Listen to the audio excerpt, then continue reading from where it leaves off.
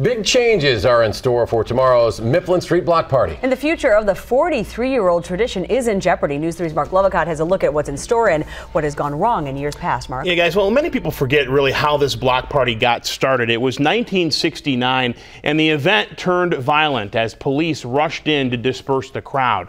That riot lasted days, and our current mayor, Paul Soglin, was arrested in the process. It's been a roller coaster ride of ups and downs over the last four decades but it has seen big changes. The block party started about 11 that morning and uh, turned into a full-scale riot when the Madison police showed up. It was a social political movement that turned peaceful in the years following that rough start. It has turned again, though, to this. I've been drinking a little bit.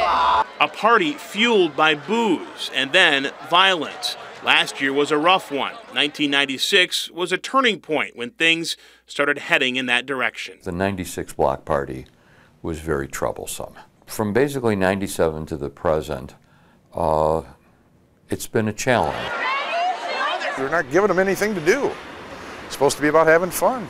Chris Williams says he led security for a sponsored Mifflin Street block party back in 1994. It was a great year. It was a successful party. Williams says the annual party needs organization, an official promoter, he says. That has not been an easy task, as several have backed out in previous years.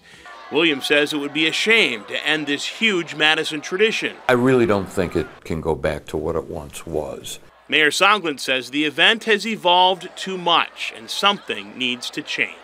And I saw some of these kids in the condition that they were in. I mean, it's life threatening the amount of alcohol they're consuming. Last year's event was sponsored, you might remember, and the result still not good with three stabbings. Soglin says he's giving it one more chance, though, with the more traditional structure that he says has worked in the past. The street will not be closed off, and booze must stay on private property. In all, the city is spending $160,000 on security and safety for tomorrow's block party. Well, let's hope for the best. Yeah. See how it goes. Marc, thanks a lot. Sure.